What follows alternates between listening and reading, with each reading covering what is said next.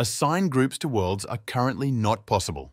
But with a small plugin and the notes of the worlds, there is still a workflow. We would now like to assign the following groups to the worlds. To do this, edit a world and add a line to the notes.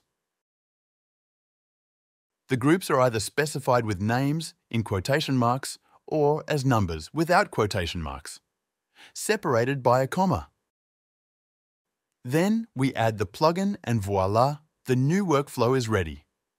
If we now activate the plugin, it works through each world one by one and searches the notes for group size. If the information is available, the entered groups are selected and the world is overwritten. Attention! The programmer is cleared in the process. And now we have synchronized our worlds with the groups. If a group is now adjusted, the plugin can be triggered again at any time if required, and the worlds are synchronized with the groups again. So, and now, Always Happy Show.